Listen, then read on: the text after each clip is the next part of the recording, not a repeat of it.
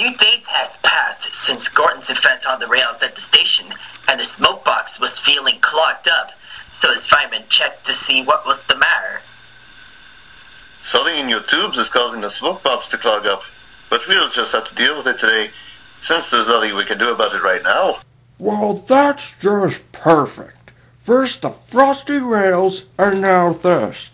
As if my luck isn't getting worse at all.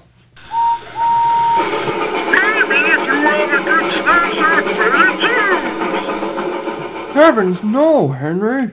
Sir Topham Hatt will never approve of that. He never liked it when you did. Later that day, Gordon backed up to his express train for the day. He was nervous about the smoke box, but he kept his courage going. At least I'm not going to slip on the rails today. But I don't think the passengers will be happy if I'm not on time.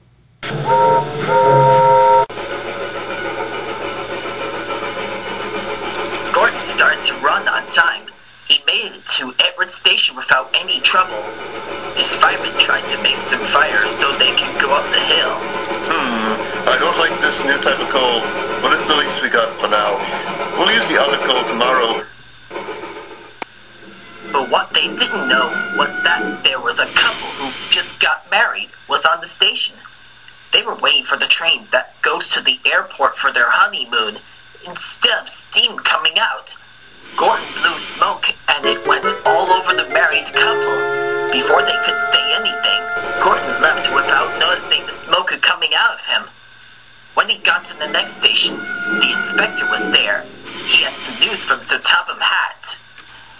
Sir Topham Hatt told me to tell you that he had just had some complaints from a couple who was previously at the station now is now covered in smoke because of you, and he doesn't want any more complaints today. And he walked away. Gordon was not happy and spoke to BoCo. Probably the worst time of my life. First the slippery rails, and now I have black smoke coming out while my tubes are blocked. What's next? It's not my fault that this new coal is dirty. Never mind about that, Gordon. You just need to move on and be more careful.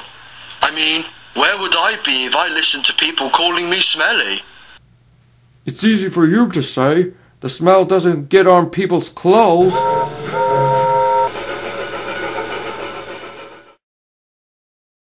After the station, Gordon tried to be more careful on his way to the sheds, but today was not his lucky day at all. Sir Topham Hatt was at every station trying to apologize for the mess. Just then, Gordon raced past by the station. Smoke covered on not just the couple again, but also Sir Topham Hatt now. When he made it to the sheds, the same inspector came to talk to him. There's been another complaint about your smoke problem. This time is from Sir Topham He is not happy with you, and he wants you to fix it before it gets worse. When the inspector left, Gordon was even more cross. Well, that's just great. I was being extra careful today. This is another worst day of my life. Don't worry, Gordon. At least we'll use the other coal and make sure your tubes are clean by tomorrow. Cheer him up. He just hoped that the next few days aren't as bad as his recent events.